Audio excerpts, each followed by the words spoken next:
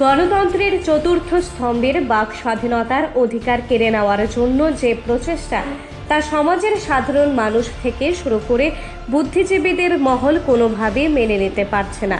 এ ধরনের ঘটনায় চারিদিকে ছি ছি রব উঠেছে। শনিবারে এই ঘটনাটি ঘটেছে বিলোনিয়া ঋষ্যমুখের নতুন মতায়ের পিডাব্লিউডি সংলগ্ন এলাকায়। এই এলাকা মতায় পঞ্চায়েতের অধীন। এলাকাতে উনিশ পরিবার লোকের বসবাস।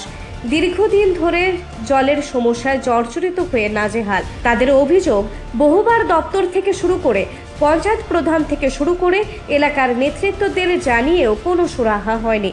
এলাকাতে বিশুদ্ধ পানীয় জলের বন্দোবস্ত না থাকায় পিডাব্লিউডি সংলগ্ন রাস্তার পাশেই সরকারি জলের চেপ থেকে জল সংগ্রহ করতে হচ্ছে এলাকার মহিলাদের।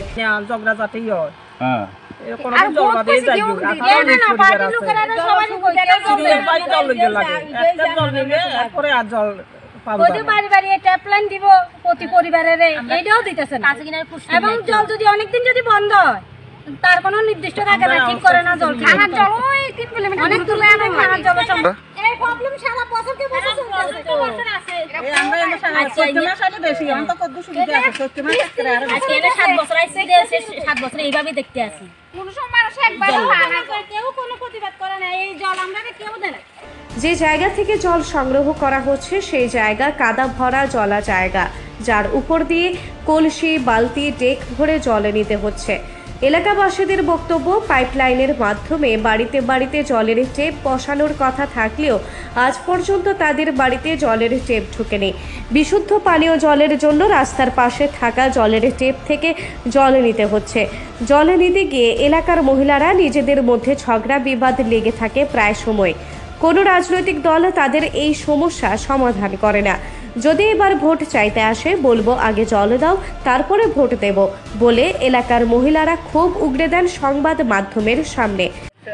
বুড়ো মা জননী বন্দি সবার কথা মনে হয় সঙ্গে ভোট শেষ এর সব কিছু শেষ তখন সঙ্গে বুঝু। যে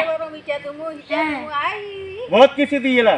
ওই আবার ভোট দিবে? না, আবার ভোট কাছে তারা আবার আইবো। তো আমরা জল দেন জল দেন। আরে দুমু ব্যবস্থা শেষ। ভোট শেষ তো টি ভরি গেছে তো ভোটের খাতা?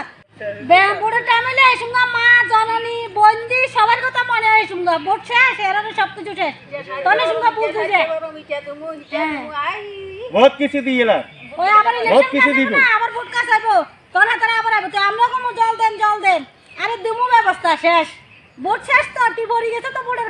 এলাকার সমস্যার কথা ক্যামেরাবন্দি হতেই দক্ষিণ মতায় এলাকার প্রধান মনা বৈদ্য ও অধীর দাস সহ কিছু শাসক দলীয় বাহুবলী নেতারা এসে বাইক নিয়ে এসে ক্যামেরা বন্ধ করার জন্য হুমকি দিতে থাকে। একসময় অধীর দাস ও প্রধান মনা বৈদ্য সাংবাদিকদের ক্যামেরায় হাত দিয়ে বলে, এলাকা ছেড়ে চলে যেতে এবং এই নিউজ যাতে সম্প্রচার না হয় হুমকি দিতে থাকে। দাঁড়ান ক্যামেরা ধরিয়েন না আমরা ধরিয়েন না আমরা রিপোর্টার। জলের অসুবিধা হইতেছে। হ্যাঁ? অসুবিধা কই? জল খরচ তো এখানে? না না। তারা আমরা গীতা কইতেছে? পাশাপাশি এলাকার মহিলাদের হুমকি দিতে থাকে কেন সাংবাদিকদের কাছে মুখ খুলল? এলাকার মহিলারা তখন বলল জলের সমস্যা আছে বলে আমরা বলেছি। তখন বাহুবলী নেতারা হুমকি দিতে থাকে জল আর পাইতেন না জলে নেওয়া লাগতো না যান এখান থেকে। হ্যাঁ?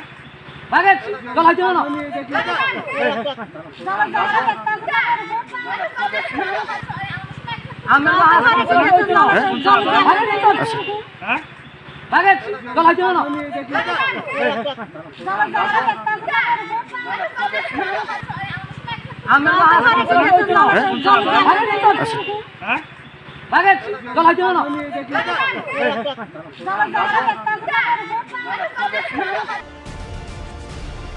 Bureau report Akash Tripura.